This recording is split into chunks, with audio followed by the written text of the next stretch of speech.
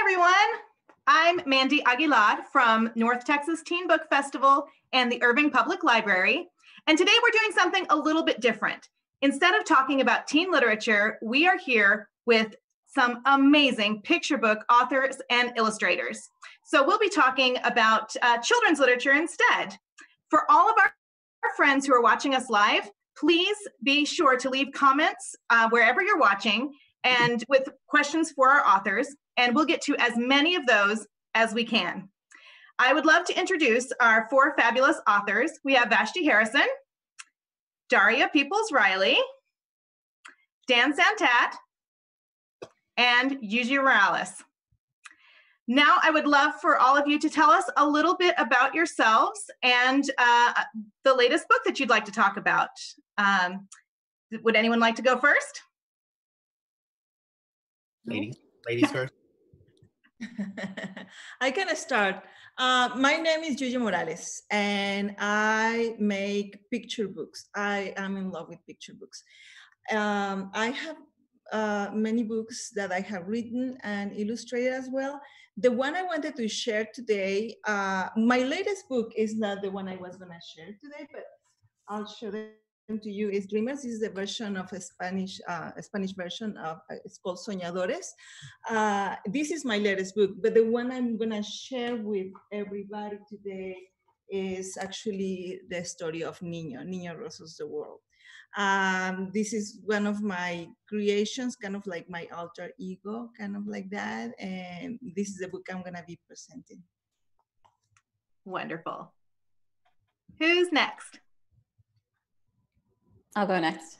All right. Um, so my name is Vashti Harrison. Um, I am an author and illustrator. And the books that I've written and illustrated are all technically middle grade, so they're collections of biographies of real people. But I also work as an illustrator and illustrate picture books like Sulwe and Hair Love that you might have heard of. Um, my latest book is called Little Legends Exceptional Men in Black History. But today, the one that I want to talk about is my second book, Little Dreamers Visionary Women Around the World. Um, it's about women artists and scientists, and put a lot of work into that book and didn't get to talk about it enough. awesome. Thank you. Daria, go ahead. I'm Daria Peoples Riley. Um, I'm an author and illustrator of picture books. And the book that I'll be talking about today is my second book. Um, it is the companion book to This Is It. It's called I Got Next. And um, it's special to me because basketball was my first love. And um, I got to tell about it a little bit in a picture book. Hey, thank you. Uh, I am Dan Santat. I am a children's book author, illustrator. Uh, I also have been known to do some graphic novels. Um, the one that I think the the site was plugging was After the Fall. This is actually one of my favorite books. is a love letter to my wife and uh, how she overcame. I wouldn't say overcame, but she battled her depression and anxiety. Uh, but today, it just it just occurred to me that today falls on the same day as a book release for this book, Little Fox and the Wild Imagination, uh, written by SNL writer and Lonely Island co-star Mr. Jorma Taccone who will also be on Seth Meyers' show tonight to talk about the book. Happy book birthday. Thank you. Thank you. Um, all right, so all of you are both author and illustrator, and I was wondering if you have a favorite illustration in your book. Oh. I will I'll go last on all questions. Ladies first, please. Um, I can start. So my book follows um, a very particular pattern. I use the same character on every single page and they're kind of positioned the same way. So the way I get to really be creative is with the background and with the costumes. Um, and one that I had a lot of fun with um, was one of my favorite artists, um, sister Corita Kent, um, who was a modern artist who worked in screen printing and made serigraphs. Um, she's very famous for these bold messages she made. I couldn't copy her work exactly, so I had to make my own Vashti version of her art, and I feel very proud of having done done my best there. I also did one for um, Peggy Guggenheim, who collected very famous artwork, so I had to make my own version of like a Pollock and a Brancusi, and had to put a lot of work into it. Awesome. Who's next? I can go next. Uh, All right, uh, Gigi. With, with Niño Wrestles the World, uh, it's a story about a boy who is a wrestler, like in the tradition of the Mexican wrestling, which is called lucha, lucha libre. And when I made this this book, what I was actually doing was kind of like exercising my own fears the things that I put in here, the, the beings that Nino wrestles against are things that I used to be afraid of when I was a little child. And what I did is then I created a story about them. I made paintings about them, and in a way that helped me get to know my those my fears a little better and and kind of conquer them in that way, which is in a really playful way. It is in the way that you actually uh, get to know your fears a little better and then you end up even wrestling and playing with them so one of my favorite um, uh, it's not necessarily like my favorite image but i love making the character of cabeza olmeca which is this this this wrestler right here.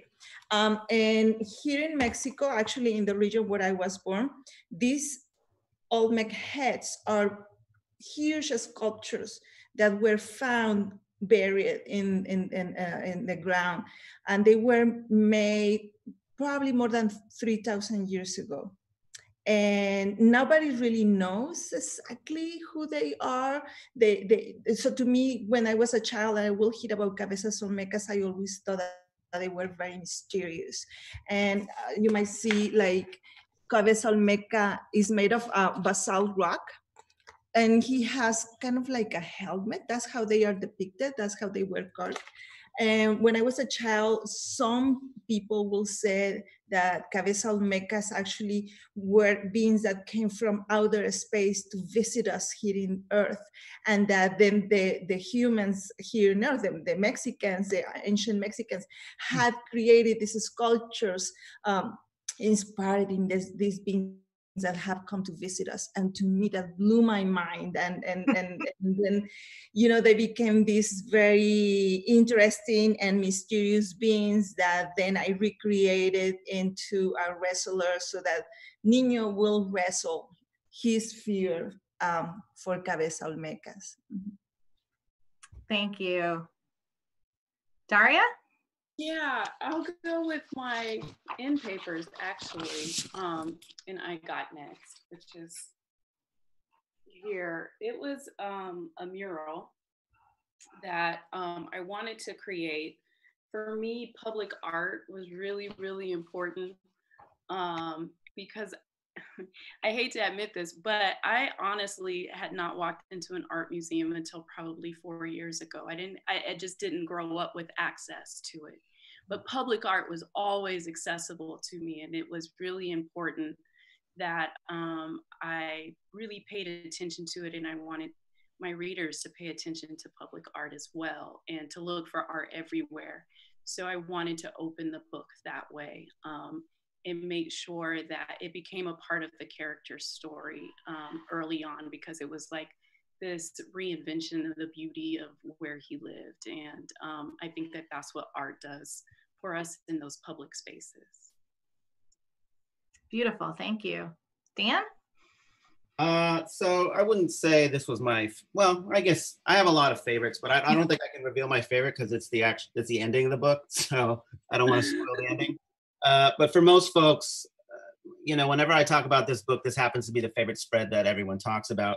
Um, and, and if you're not familiar with the story, uh, after the fall is what happens to Humpty Dumpty after he has fallen off the wall, and um, he, he, basically he becomes uh, he has a he has a phobia for heights. He He's afraid of heights, and so it really affects his life in ways that don't necessarily directly uh, have to do with uh, falling off a wall, but um, there are just moments in his life that he tries to avoid. Uh, and for example, here's a part where he's avoiding getting his favorite cereals, which are all on the top. Um, and you know, I think kids can relate because there's a lot of fun kids cereals. Um, you know, things like uh, Free Toy. Uh, you know, there's uh, there's Sugar Bunny and things like that. Funny thing is, I actually went to a I went to a, a store, uh, and they had like one of these like knockoff cereals, and there was one that was called uh, Fruit Rings, and, and the crazy part was that the box was red. There was a green parrot, and it was called. and I had called it Fruit Hoops, and it was just a really weird moment because I had illustrated the book before I saw the box of cereal, and I just had this weird, like weird moment in my mind. But um, I mean, I think I think for me, like addressing addressing the solution to the problem, just you know, with with uh, saturation of color, you know, having the really saturated colors on the top to be really appealing, and then all the unappealing grown-up cereals on the bottom like uh, fiber flakes and bland um, which are probably the cereals i would eat now. But uh, yeah the, this is this is just one of many spreads in this book that i'm particularly fond of. I will say dan that when my six-year-old son and i read that book together we spent the most time on that spread like looking at every single box of cereal and deciding which one would taste good and which one would be gross you come up with cereals and then you go out into the open and you're like, oh, it's not far off from what I thought of.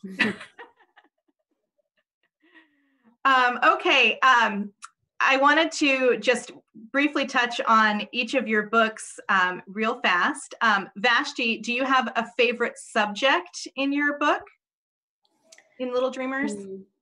Well, so the entire book is about women artists and scientists, people who were visionaries, who are thinking about things long before many others. Um, so there are some there are a lot of themes that kind of connect with a lot of these women being that they were not appreciated in their time. They were often told they were crazy or too too idealistic. Um, but um, in terms of specific subject i suppose i have a soft spot for the artists. Um, i definitely have a soft spot for um, children's book illustrators. Um, so there's there are two two people who I lean on the most. Um, Gyo Fujikawa is one of my favorites because she was a pioneer in children's book illustrating, and then Mary Blair, who um, was an, a colorist um, who worked at the Disney Studios, but also illustrated children's picture books. So um, maybe the subject I like the most is creating stories and beautiful art for children. Thank you. Um, Daria, I noticed in both of your books there's a shadow that is kind of following your main character. Um, could you tell us a little bit about the inspiration for that? Sure. Um, you know, I when I talk to students about when I when I take this is it and I got next to school visits, we talk about inner voice and we talk about the ability of listening to that inner voice and whether or not it's a positive affirming uh, voice or if it's a negative voice. And so i wanted to give that voice a visual representation and what better to do that than our shadow because it's the one thing that follows us like our voice everywhere we go. And um, but the voices in i got next and this is it take on a personality of their own because that's really who we need to become within ourselves in order to see it you know manifested in our life. So that's what i talk about. With this is it um, i it was my very first book. It was my debut book. And so she really did take on the personality of sasha fierce right? Like on the outside you had this very insecure ballerina that did not want to show up for this audition but um, on the inside, she had prepped and prepared. And um, so the Sasha Fierce had to present herself to her and remind her of who she was. And I Got Next is a similar voice, but is that more like a coach and that inner coach? Um, so many days when I was playing basketball, that's the thing about basketball is you can play yourself. And so um, a lot of that imagination happens in your mind where uh, your inner voice is is the opponent, um, and it's the coach as well. That's getting you pre- ready and prepared for the game. So that's what those shadows represent. Um, and it really was just a, a, great device that I could use to um, show the inner workings of what voice sounds like and feels like and looks like on the outside. Thank you. Uh, my next question is for Yuyi. Um, you mentioned some of the, uh, or at least one of the um, characters that Nino fights in the book. And I was wondering if you had any feedback from readers, if they had uh, a couple of favorites. What which of the um, opponents really jumps out to your readers? Ooh, well, usually La Llorona. And La Llorona, I'm gonna look for her. Well, I represented her here, La Llorona. And La Llorona is, as soon as I mention the, name, the name La Llorona among children, especially Latino children, Latinx children, they immediately know what I'm talking about because La Llorona is the most Mexican, uh, the most famous Mexican ghost. And everybody has a story about La Llorona, like whether their uncles, their aunts, their cousins, abuelitos, abuelitas, had an encounter with La Llorona. Um, and the way that you recognize La Llorona is because she cries and she cries something like this, like, ay, mis hijos. And when I was little, I never wanted to hear La Llorona, ever. But most children know about La Llorona because whether they had been told by someone they know that La Llorona was by the river or they hear her one night or something like that. Um, or they might have also been told that like if you don't eat your soup you know like Jordan is going to get you and children know La Llorona very much and when i mention her everybody immediately just perks up and they are ready to not so much sometimes to hear what i have to say or what the book has to say about la llorona but but to tell me the stories that run in their family about encountering La Llorona. Thank you. Uh, I think when my husband read this with our son, uh, he mentioned uh, her as well because he was scared of her as a child. oh yes, we were all yes. Um, and Dan, you mentioned that after the fall was um, about your wife's anxiety and depression. Of course, anxiety is when we have um, fears that aren't necessarily real fears. How did that turn into a book about Humpty Dumpty? Um, you know, originally I just I wanted to do a story that kids could relate to about um, just being, you know, being able to get back up after failure uh, I was relating it into a sense where uh, you know you talk about you know you talk about maybe falling off a bicycle or maybe not doing so well on a test and you know just having the courage to try to get up and and and get up again and, and try again. Uh, also just you know to normalize anxiety to just realize that everybody goes through it and that it's it's a thing that you know people people have and deal with. Um, you know and then while i was working on the book uh, I think what what happened in the process was just I like to I, I get a lot of inspiration from from family. Uh, you know, Beekle was about the birth of my son. Um, Are we there yet? Was about my other son.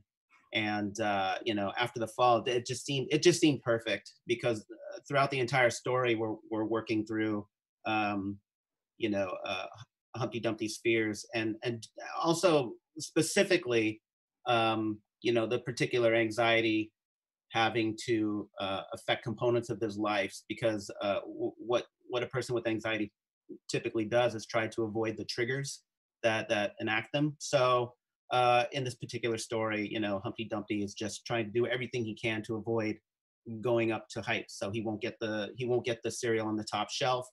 Uh, in another spread he um, you know he has a bunk bed and he, he's showing that he's preferring to sleep on the floor uh, and things like that. But um, you know, with the help of my editor, this wonderful editor, her name's Connie Hsu over at Macmillan.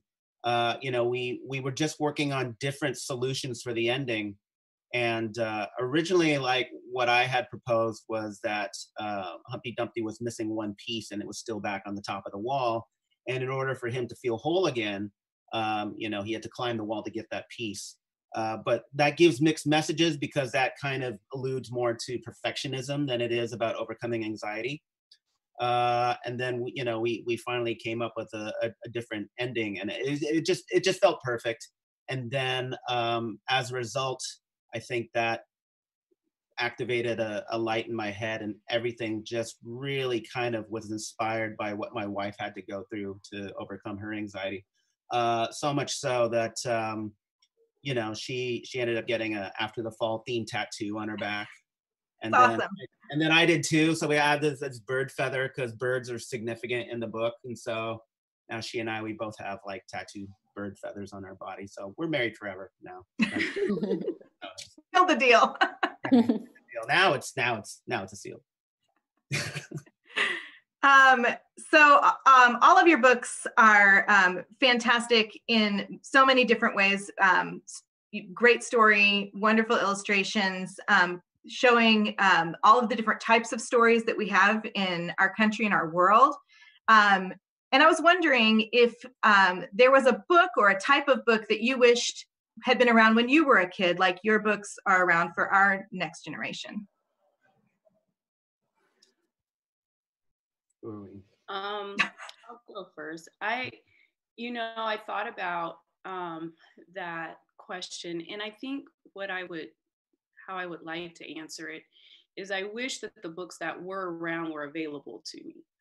Um, I, I wish that librarians had put Eloise Greenfield and Walter D. Myers on my bookshelves um, because there were so many books that were available um, to me during my childhood, but I didn't have access to those. Um, and so that's why I think it's so important the role of librarians and in teachers to make sure that those books that are out there are on the bookshelves. Um, so yeah, that that's what I really wish. Um, I've talked a lot about how my first book, Little Leaders, Bold Women in Black History, I really kind of made it with a younger version of myself in mind. Um, now, I could have talked about the most famous leaders in all of history, but I focused specifically um, on American women because it was inspired by American um, Black History Month in America, but also um, I made sure to include um, kind of as diverse a list of possible of fields of study because there's a question that lots of adults ask kids very often. and I'm not sure I loved this question so much, but it's what do you want to be when you grow up? And I don't think that anyone needs to know that answer anytime soon or, you know, sooner than they're ready. But I wanted to make sure that I was kind of arming kids with the knowledge of all these different possibilities that exist. So in this book, there are authors and illustrators and sculptors and filmmakers and mathematicians and doctors and lawyers. Um, you know, I could have, there are so many incredible people I could have put in here, but I made sure to kind of diversify the, the, the fields of study just to make sure there was something on every page for, um, for everyone. Um, because I never saw books that had characters that looked like me and they certainly weren't doing all of these different things. And i always thought what if i learned about filmmaking or if i'd learned about animation or or children's book illustrating when i was younger and maybe i could have spent a little less time filled with anxiety? Um, so that's definitely you know I've, I've you know i've said that answer before so i was trying to find something new but there's still so much to be said about how you know these versions you know in the in the intro to the book i say to be able to see someone um, that looks like you do these things it's it's just it's eye-opening and it's empowering and still there's so much um, so many more stories to share Absolutely. I learned so much reading the book. Anyone else? Yeah, I'll go. Um, I I grew up here in Mexico. I'm in Mexico right now, and when I was growing up in this country and in my generation, we didn't really have children's literature. So when you pose the question, what books I would have loved to have available during my childhood is all the books that right now are being made.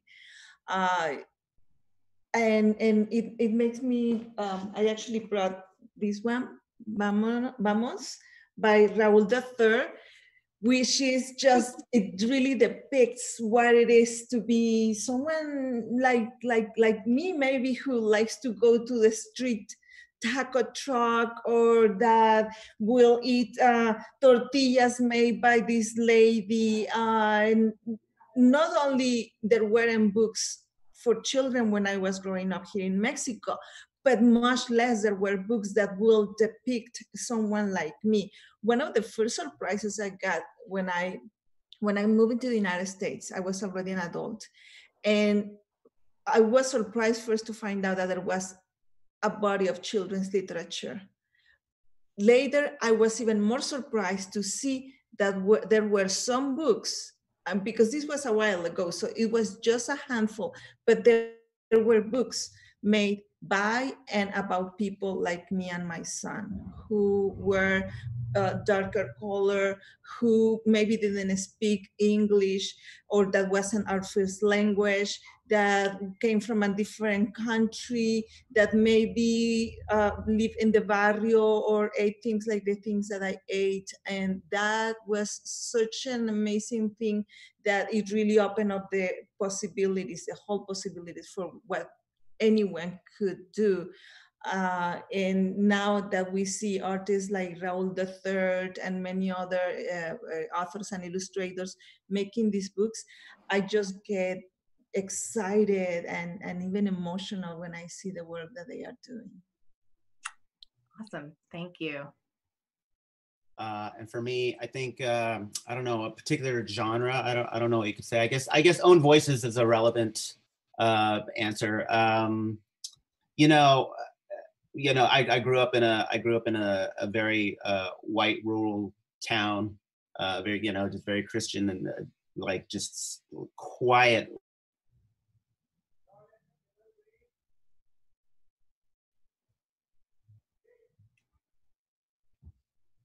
Did Dan freeze for everyone else? Yeah. Yeah. Oh, Dan, come back to us.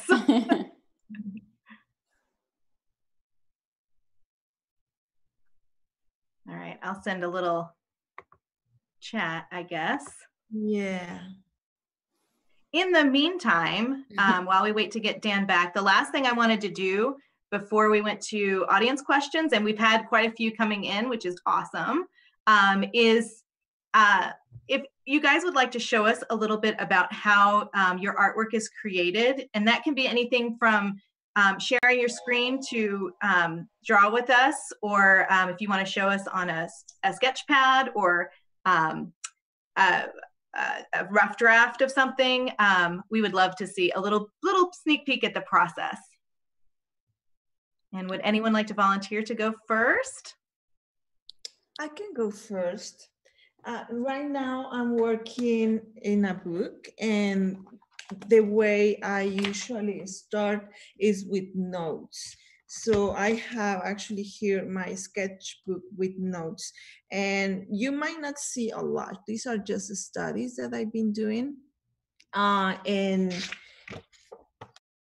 after I I come up with notes and just drawings, things that I copy, I use references and then I, I look at them a lot then I usually start making small drawings.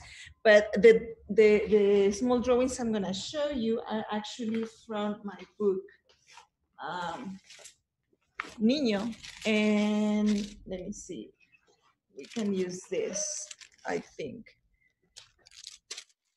Because my drawings, let me see, I'm gonna get a piece of paper so I can show you because I use this tracing paper to make very, very small drawings. And you might see them, they are kind of like ants. Hmm? You barely see them.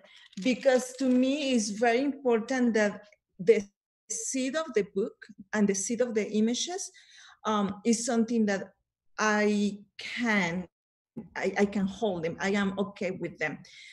This might happen to many of you that when you try to create something, sometimes the task seems so enormous that you freeze that happens to me a lot. So I try to start in a way that doesn't intimidate me.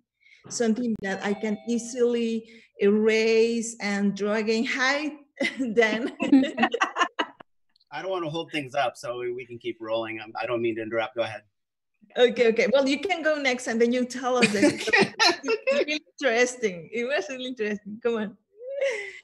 So right now, Dan, I'm just telling them a little bit of how I make my my books, how I oh, start. Oh yeah, then go ahead. Yeah, yeah, yeah. Okay, okay.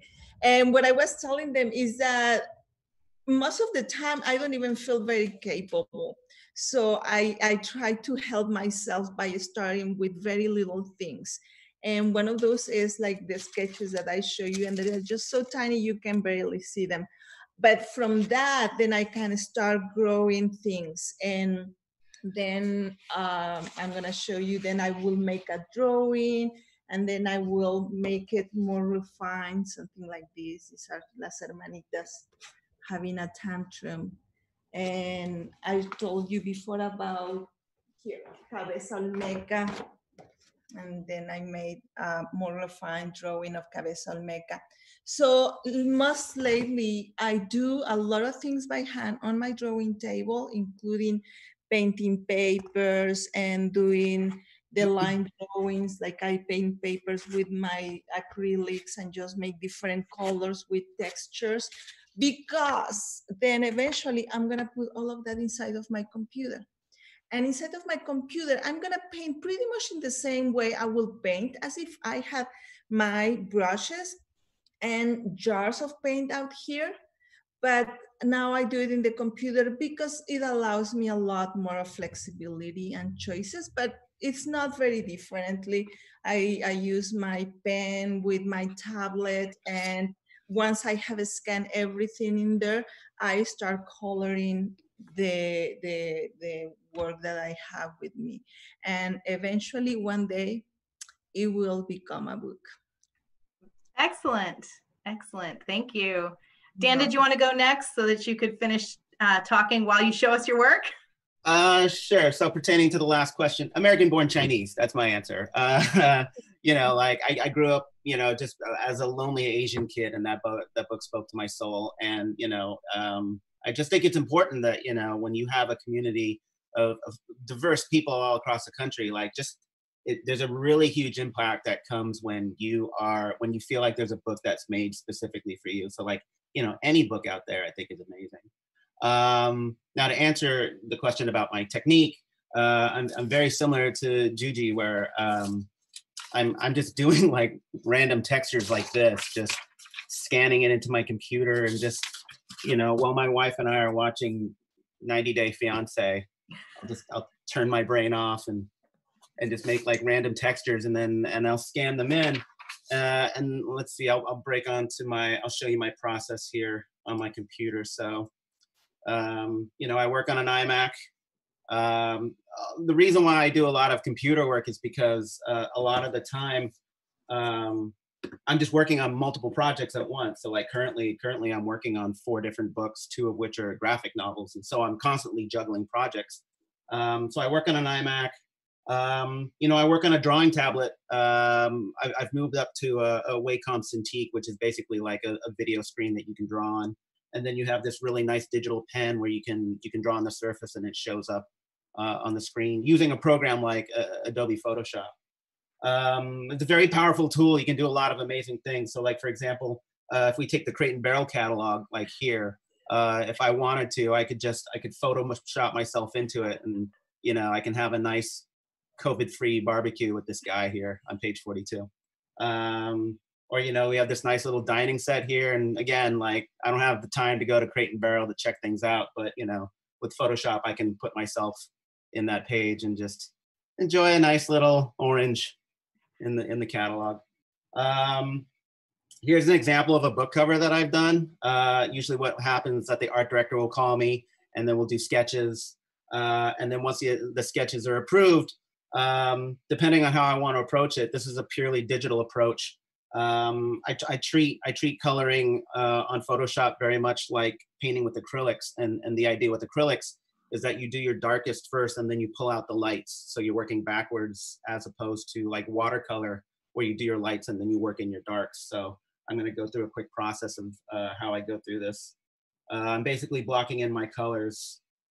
and then you just start rendering little pieces at a time, and you're pulling in, you know, you're pulling out your highlights slowly.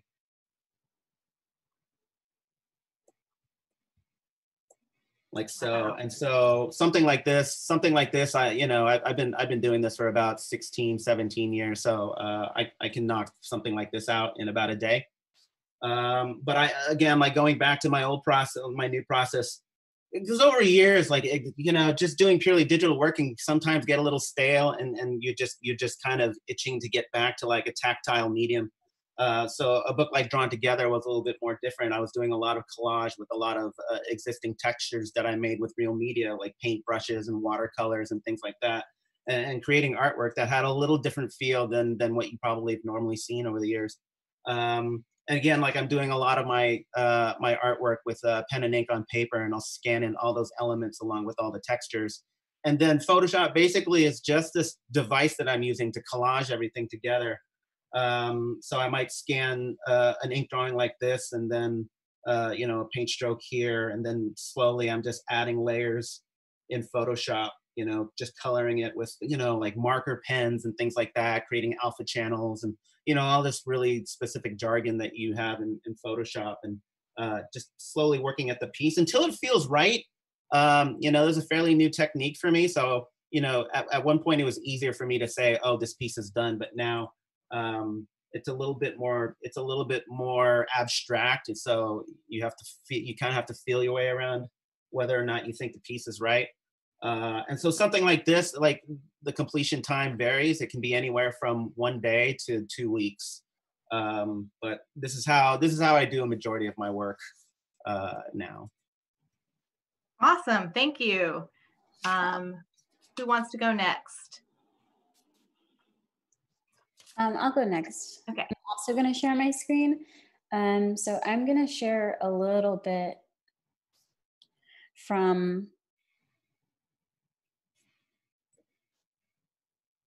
uh, from this book Soy that I illustrated, um, just be, so you can see a little bit more of the like the painting process, the art process. So um, this is a sample drawing. So sometimes when I get asked to illust- illustrate a book, I have to do a sample drawing early on before anything else to kind of show that I've got the chops to do it or that, you know, the the team can kind of choose between a couple different artists. Um, but once once I was locked in, I was the illustrator. I started really working on the character. Um, Sulwe is a story about a little girl who has very dark skin and has to learn to to love it. Um, so I did a ton of character sketches in lots of different media. This is like marker on paper. Um, here I was really testing out different face shapes because her skin is very dark. And the first line of the book is Sulwe's skin is the color of midnight. So I thought, well, you know, maybe it's important that she has these really big eyes because maybe that's the only thing we see in some scenes. Or, you know, I need her her features to kind of really pop out. Um, you know, in potentially these really dark scenes. Eventually, um, let's see eventually this is the one that in this case um, lupita nyong'o the author she had um, a lot of say in the book. So this is the one that she went with. Um, and so i started really working on breaking down the character um, and doing all these different emotions because Lupita's an actress, and I wasn't. I knew early going in that she was going to want to talk about these little subtle acting things that the character was going to need to do, and I was like, "That's a lot of work, but I'm going to practice." Um, so I do a lot of sketches in you know in all different types of media um, i make a color palette pretty early on to kind of decide where things are going to go um, I try to be really thoughtful about, you know, my what colors complement each other and how I can relate that to the different characters. So, for example, um, this is Sulwe's color, um, and uh, her exact complement. I always put her mother in, um, so the colors are always kind of harmonious in, in those scenes. Um, but it was really important to ask myself questions about, like, well, when Sulway goes on a ride to the stars, what is the color? Of night and what is the color of the character night what is the color of a star and what is the color of our character named day and so i needed to find this hierarchy between what's the brightest thing in the scene and what's the darkest in the scene it was, um, it was a lot of fun but also like a lot of thinking a lot of planning goes into it so here's kind of a breakdown of where I start out. So I do these thumbnail sketches. They're pretty small. I don't put a lot of thought into trying to get everything perfect. I just try to get the emotion, and usually that requires some light and dark, some values to to help me feel like where is the what is the mood of the scene. Um, so once the character was kind of approved, I went back in and did the sketch phase with that character design. Um, and there's the the color. I usually go pretty quickly from sketch to color. Sometimes I don't even uh, sketch too much. Um, so this is like this is a classic Vashti sketch. This is me working out where things are going to go on the page, the composition, and in my head, I got the rest of it. But when you're working with a client, sometimes you do have to clean things up so they understand exactly where things are going to go. So um, whereas I might go from here to final, I needed to clean things up. Um, so here's the full sketch. So the character is uh, she's here sitting on her bed. I think this says her room. That's enough for me. Um, and she's thinking about um, her sister and all of the friends that she doesn't have. It's very sad. Um, so I redid it um, digitally, and so here you can see some of the lights and the darks that where the values are and then I did it again with the color with the character sketches, and then that's the actual final piece. Awesome. So that's that's Sulwe, but I wanted to show you really quickly um, a little bit of of little leaders. So in these books, all the characters are the same. Um, I use the same face. Um, and I just changed the background and the costumes. And in this way, I kind of hoped that it would feel like kind of like a little animation, like a flip book, like maybe any one of these, uh, like a kid could be dressing up as any one of these people and see a little bit of themselves in any single one of them. So I made this coloring page where you can uh, color it in and show um, someone that inspires you. And just to show people how it works, I drew my parents. So here's my mom she she used to have short hair. This I gotta redo it with some longer hair, but she's got her iconic gold eyeshadow and her boots, and she's always in these kind of neutral colors. And then because I couldn't leave him out, here's my dad. I love it. my dad's like iconic, got this iconic sideways haircut, but I was like, oh no, no, no. My dad always has a hat on. So I gotta add the hat. Um, and he always wears a Tampa Bay hat, but he tells people it stands for teddy bear because his name is Ted. So that's just a little bit of my work. Thank you. All right. And Daria? Yes, I'll try to screen share. Here we go.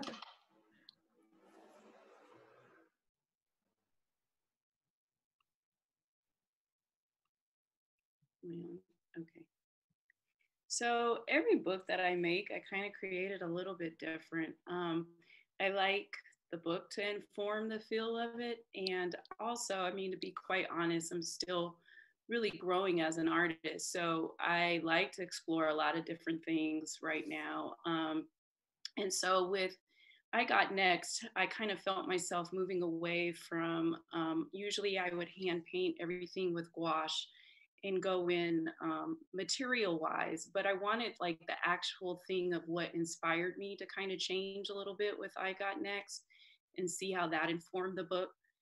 Um, I knew that basketball narratives had been in picture books for a really long time. Um, so the first thing I did was I read all the basketball stories that I was familiar with and that I wasn't familiar with. And some of my favorite illustrators have done basketball books before. And so I wanted to know also like what part of the story could I tell that was different than what was already out there on the, in the market. And that's where I came up with the idea I got next with it being, you know, this lingo that is used on the basketball court to mean that you're the next person on the court. Well, when you're the smallest person or the youngest person or the only girl on the court, that could be hard to say in those words. And so that's kind of where the story idea came from. And um, as I mentioned before, I don't have a traditional art background. So I really do lean in on inspirational art from everywhere that I can possibly find it and how I'm going to incorporate what I'm learning as I'm learning into the books that I'm creating.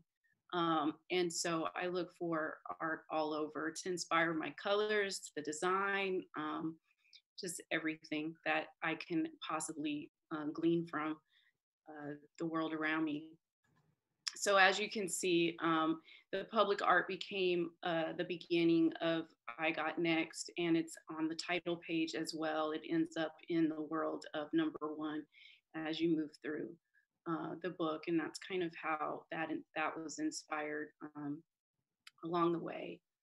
And then um, I was kind of creating this book not in any particular order, and definitely not like how I did This Is It with thumbnails and character designs and kind of a step by step process. I really was trying just to feel the world and remember what it was like to be nine years old again and play.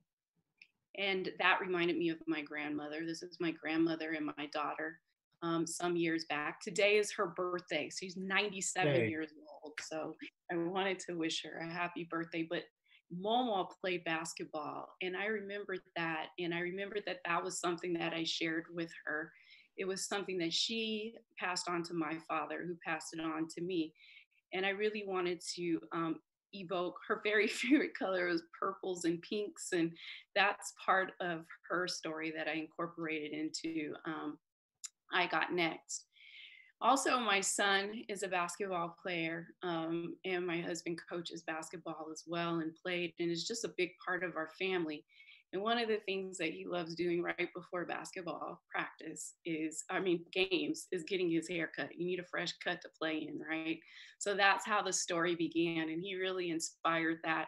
And as you can tell down here are my sketches and i really i love paper uh, and pencil and charcoal. And I do all of my sketches just like that and photocopy them. And there's smudges all over them. And my poor dear editor, Martha, she she has to deal with the the smudgy papers and everything um, until I get to to the final art stage. But um, I really just was trying to let the world inspire me for this particular uh, book. And I really wanted to go to Brooklyn. I've always been in love with the with the courts of Brooklyn and, and the legends and the legacy of basketball there. But at that time uh, in my life, I couldn't travel. And it was actually my editor who suggested I take some Google Walks. And that's one of the things that I did uh, to really feel as though I was there, you know. Um, and uh, I and it really inspired me. I did have the opportunity to go to Washington D.C. and I made my friend who I was traveling with pull over when I saw a basketball court, and that inspired it as well. Um, but it really was a book that I made along the way um, and figured things out till the very last minute. Um, and I also had the opportunity to go watch my nephews play, which really gave me a good idea of like the players scale of the court because you know when you're big and old you forget how little you are on that big old court and how high that basket is and um, how intimidating that could be um, and so watching him practice with his buddies and friends like really helped me figure out the scale and the size of the court and what i the different angles and perspectives that i wanted it to have and lately I've been learning. Um, my next book is coming out in April, and the whole book is created with oil paints. And I went completely 100% traditional. And this is kind of the process that I that I learned. Um, I have the opportunity of being mentored by Floyd Cooper, and it's been a wonderful experience. He's like the master of subtractive painting, and he kind of helped me see the way I see, and then figure out how to paint um, in a way that I really enjoyed it. Um, so this is kind of the process for how I painted those paintings and um, America My Love, America My Heart. Um, and it's very traditional, but it's new to me and I've really been enjoying it. Thank you. All right. Um, we are getting close. Oh, I'm sorry. Did you have a little bit more? No, I'm just kind of trying to figure out how to not screen share anymore. Maybe can you kick me off? There's a there's a tab on the top of the screen that'll say stop sharing. It's a red button. There we go. All right. Thanks. Um, so we are getting a little bit close to the end, um, but I wanted some time to do audience questions. We've had uh, quite a few great ones come in. Um, and the first one, and, and also because we're starting to run out of time just a little bit, um, let's try to keep the answers as sh short but um, you know good as we can. Um, and our first question came from Facebook um, from an 11 year old fan, Allison. Um, and she wants, she's from Texas, which is great. She loves and has read all of your books and wants to know that when you started to write, were there any bumps in the road and how did you, um, how did you help yourself not give up basically? Uh, I, I, I learned how to write from reading other books and then I think I think the I think the easiest way to ease into it is to try to imitate other people until you feel comfortable, and then you just set out on your own and try to write your own stuff. I mean, there's nothing wrong with fan fiction, really. you know. When I was a kid, long before I ever thought I would be an illustrator, when I was in high school, I was really, really insecure about my writing ability. So much so that it was giving me uh, like nightmares before my senior year of high school. And so I didn't take AP English. And I, for a long time, thought I was such a bad writer. But what that meant was when I got to college, I had to take my English writing requirement. And fortunately, there, since everyone has to take these classes, there are lots of different options. So you could take one on rock and roll, you can take one on politics. I ended up taking one on film and I loved it so much. It was the first time I ever took a film class. And I realized once I had something that I wanted to say, my fear of writing disappeared. And just the act of being forced to write five five page papers, it was like, you know, I don't have time to slow down. I'm just trying to get these ideas out. And I realized that I got over my fear pretty quickly once I just forced myself to do it and I realized I had something to say. Awesome. I would say um, talk about your writing with your friends. If you have another writing partner or somebody who likes to write along with you, when you talk things out, a lot of times it helps you go back to your own writing and incorporate what you really meant to say in your writing. Um, and that helps me a lot when I just talk things out. Um, and I have friends that really want to talk about it all day because it kind of takes all day sometimes to figure things out. Um, for me, when I started, when I started admiring picture books, I wanted to write them and I had no idea how to do it. Also, I wanted to write them and I didn't even uh, know enough English to do it. So I started a process of writing and learning and i didn't have really anybody to share them with. And i but eventually i did find people that had the same the same likes and the same passion for writing for also for making images. And that really helped me because then you start sharing and they have the patience to for you to share your work. And and, and you can see that it can grab someone's interest. But at the same time i feel like if we are going to wait for someone to tell us oh what you wrote you know i really like it or i don't like it when you are creating your creation is so tender is so fragile because it is just the beginning. So i will say that be very very proud of whatever you do and be very caring of it. Don't um, if you don't feel like sharing it don't share it. It is yours and it is yours and that's all that counts. It is your voice is what you want to say no matter that it doesn't look like anybody else's. It is your own creation and you have to be very protective of it because if you just show it there and put it out there. You might find people who will not take the same care and might just break you. It might break what you are doing and you decide like oh i'm not good at doing this and i'm just not good writing. I'm not good illustrator so i'm gonna stop. Do not stop. Sometimes you might not have someone that supports you, that takes you by her or his hand. So you're to have to be your own hand. You're going to have to be your own reader. You're going to have to say the story I'm writing, the images I'm creating, they are valid because I made them. Oh, that's powerful. Thank you. Um, just enough time for one or two more questions. Um, Charlotte from YouTube and Catherine from Facebook um, both wanted to know about writing and illustrating. Um, what comes first?